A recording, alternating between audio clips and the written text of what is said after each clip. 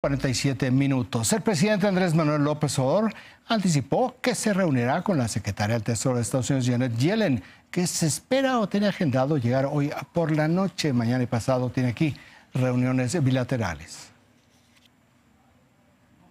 No, todavía no, no, conocemos la agenda, pero sí este, nos da mucho gusto que ella haya decidido visitarnos.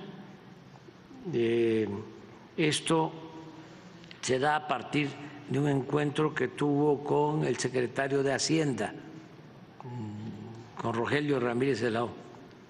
Entonces, este viene eh, y van a trabajar en cuestiones hacendarias y yo la voy a recibir en la mañana.